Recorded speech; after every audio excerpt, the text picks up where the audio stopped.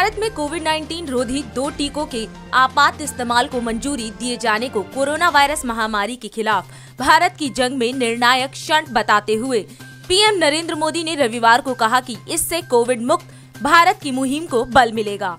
भारत के औषध महानियंत्रक द्वारा ऑक्सफोर्ड के टीके, कोविशील्ड और भारत बायोटेक के कोवैक्सीन के सीमित आपात इस्तेमाल को मंजूरी दिए जाने के बाद पीएम ने अपने ट्वीट में कहा कि यह प्रत्येक भारतीय के लिए गर्व की बात है कि देश में जिन दो टीकों के आपात इस्तेमाल की स्वीकृति दी गई है, वे भारत निर्मित है। डीआईडी में खबरें अब तक। इंतज़ार कीजिए शाम तक।